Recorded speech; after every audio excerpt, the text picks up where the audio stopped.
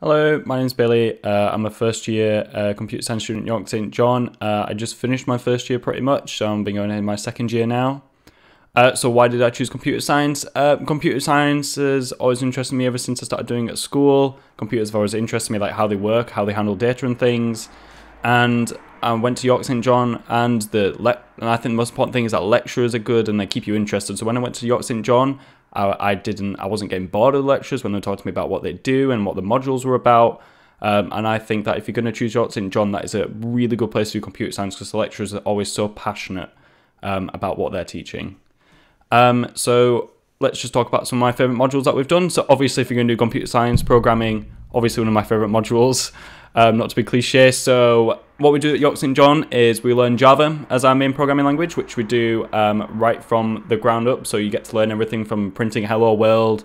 Um, and the minute I've just finished doing things like array lists and obviously get to learn like for and if statements and switch methods. But if you don't know what that is, then you will you will get to learn them uh, at York St. John.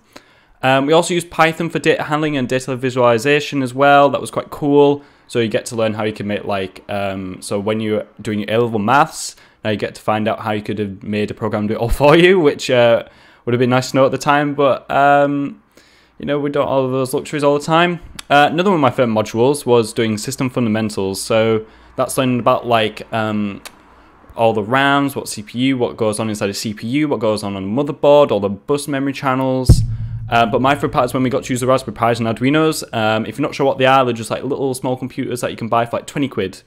Um, and you get to program them yourself, whether it's just like turning on a light or sometimes people use them to make, example, like a smart mirror themselves. Um, but those are really cool because you can just sort of make it do anything you want as long as you are in control of it. And you can make some pretty cool, interesting circuits because you get to learn about like electronics in a way as well at the same time and how everything communicates with one another.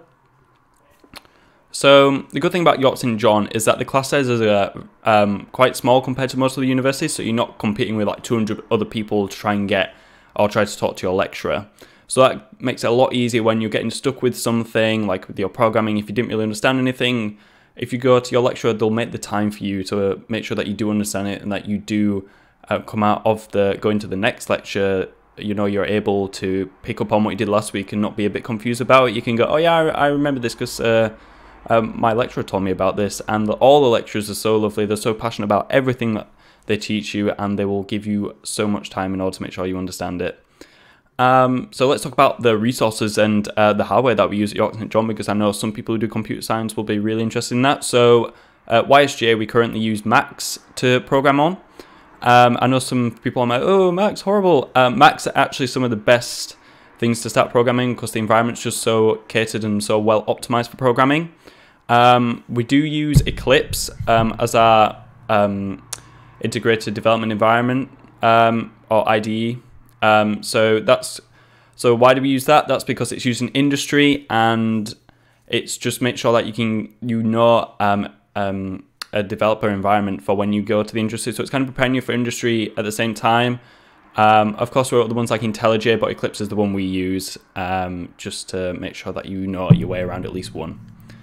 Um, for opportunities for computer science at York St. John, um, of course, there'll be opportunities through the year. Like sometimes um, there have been trips to go to the Computer Science Museum uh, in Germany.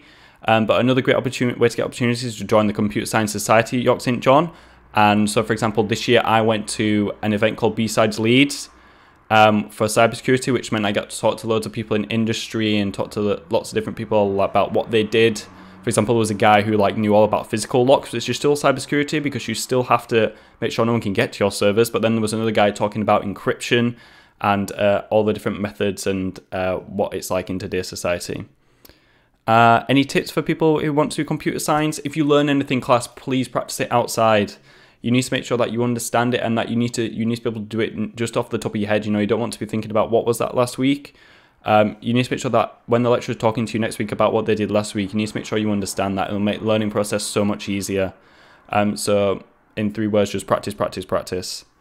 Um, if you're still confused by something, as I said prior, just ask your lecturer about it, and they'll be able to help you. And if that's still, if you still that still doesn't help, watch a video online and follow along a tutorial or something, and then look look back at the code because normally tutorials will explain what they're doing in the code as well.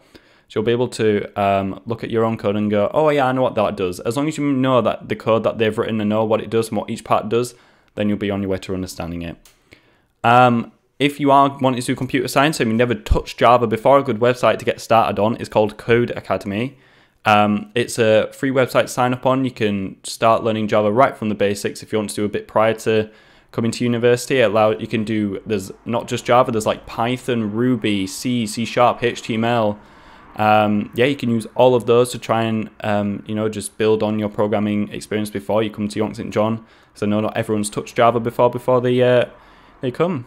So yeah, I've been Bailey. Thank you very much for um, listening to my ramblings about computer science at York St John. Hope to see you soon.